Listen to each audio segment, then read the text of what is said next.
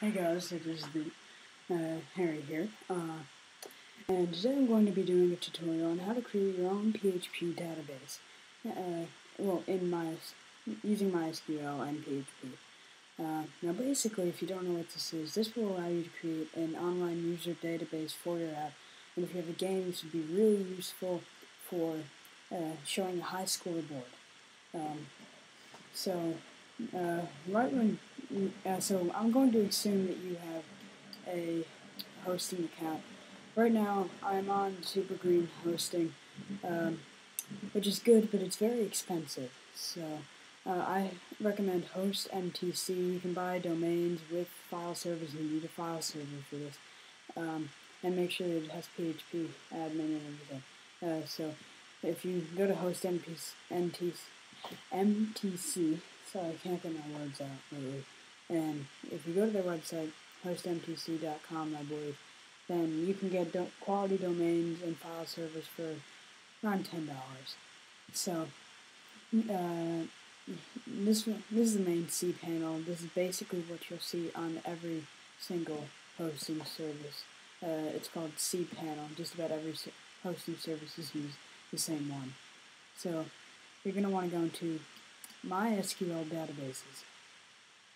Uh, and so I have a few for different things that I've made, and so I want to add a new database to this. And what our database is going to be called is whatever you want to call it. So I'm just going to call it tutorial. Sorry, tutorial. Uh, create database.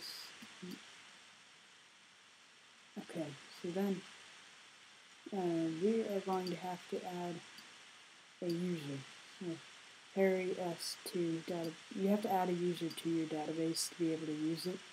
Um, you can create new users over here, and then you want to add it to the database. Database, database, whatever you want to call it. Add. I'm going to give it all privileges so that you can add stuff and get stuff and all that. Okay, now that we've done that, you're going to want to go over to your PHP MyAdmin. Uh, this will be in your cPanel if you go to Home. Uh, it should be under Databases and PHP MyAdmin. I already have a window open, so I'll just close that and go over here. So, if you reload that page or whatever, uh, you will see our new database tutorial. So there are no tables in. The tables are the places that store the information. So basically what we're going to do is we're going to create one table called users with two fields in it uh, for username and password. You could add three if you wanted to save your email too. It's a username, sorry, username and password. Username is text, is not an int. Text uh, so you can just save that and you're done with that. So now there's a users table that pops up over here. And so now if we go back to tutorial home, we want to create another for the stats of that user. And uh, we're just going to have two fields. Uh, for the username of the person that has that high score and then the score.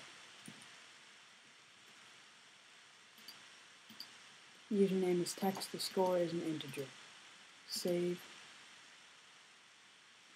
And there we go, we've created our tables. And so now we want to go to, uh, I thought I had a window open for that. No. So you want to go to your file manager over here.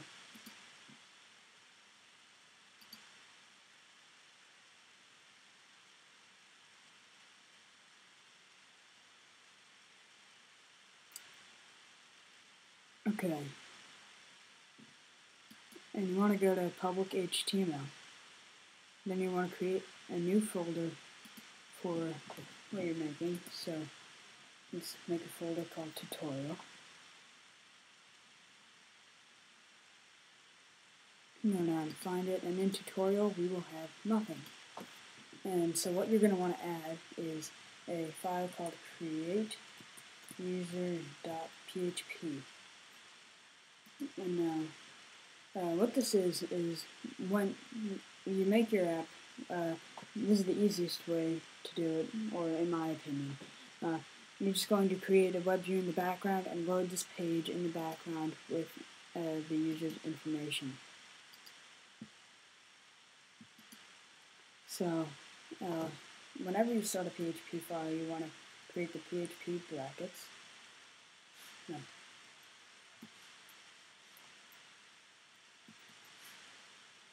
Okay, so in here, uh, we want to get the main, uh, we want to connect to the database.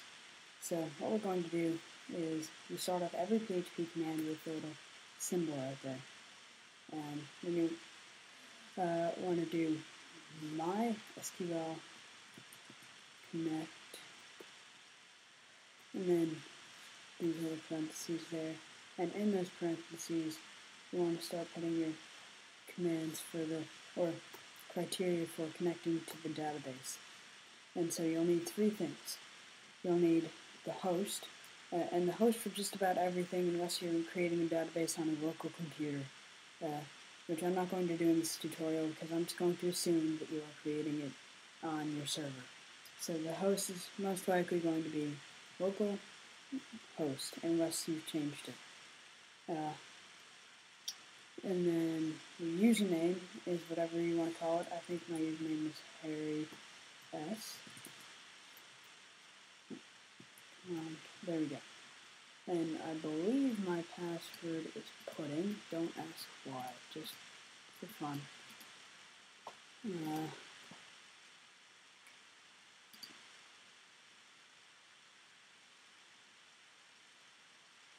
user. Hey. Hmm. Whenever I guess I just have to guess and find out. Note, it's a good idea to write down your password.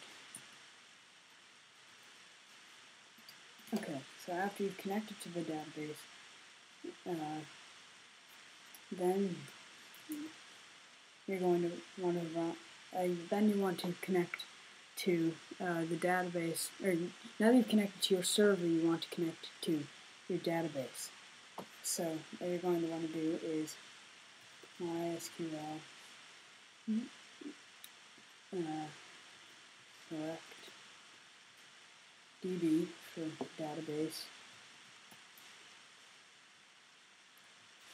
And in here you're going to want to put your database name. And so uh, our database name is tutorial. I'm not the greatest with a keyboard, just to let you guys know. So, um, then what you're going to want to do is, uh, I'm just going to write this out and explain it in a sec. So, the name, so this is basically like a variable. If you've worked with other programs, you'll know what a variable is. I'm just going to explain it. A variable is uh, a uh, what in PHP you can make it whatever you want. Uh, in C++, uh, for iPhone programming, so you'll have to define it a variable as an integer or a string or whatever. In PHP, you just create the variable and then type in whatever kind of uh, information you want, and then PHP will then determine what kind of variable it is, which is nice.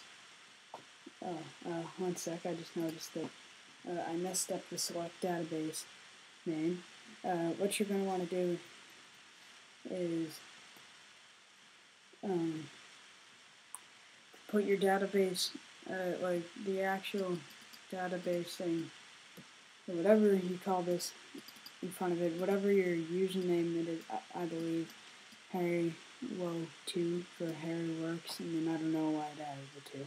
But so that's how I would connect to the database. You have to find out your database name and put it here. Uh,